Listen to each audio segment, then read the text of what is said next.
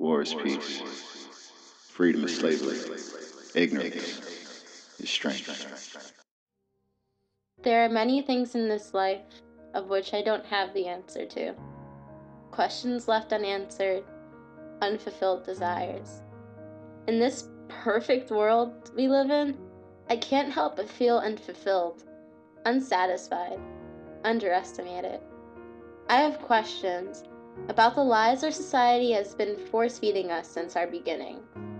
I have questions about the truth hidden from us all. I have questions about the past, my past, a life I once knew that is now gone. I have questions, so I must die.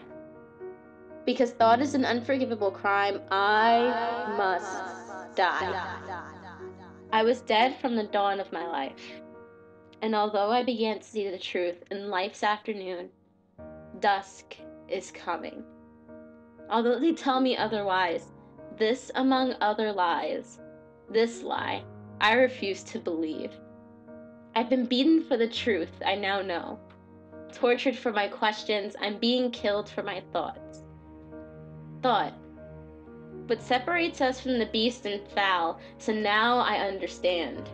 They are killing me for being human. All I want is to be free.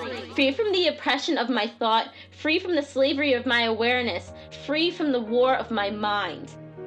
This is a war I'll never win. A pointless fight. My reality is screwed. No matter what pills I take, neither red nor blue can change this nightmare I'm living.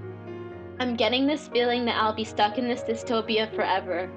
I wish that we could have risen up together and changed this world, but instead you undermined me. You treacherous friend of mine. We were supposed to change this world together, but instead you turned me in for 30 pieces of silver. We were supposed to make this world better for everyone. We believed in the same things. But now you call me insane, and I can't seem to wrap my brain around the fact that you too betrayed me. Is this the end of me? Is this the end of me?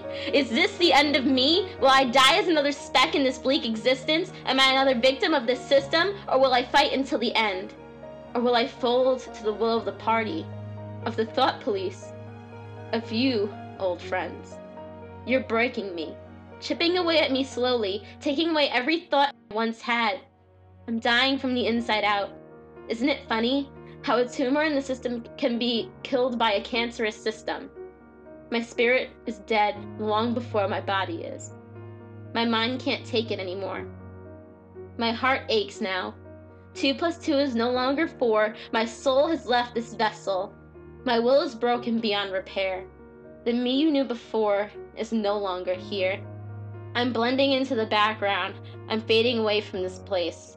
But before they execute me, you will once again see my face plastered on the news, smeared on the telescreen. You will spit at my corpse. You'll laugh at my screams.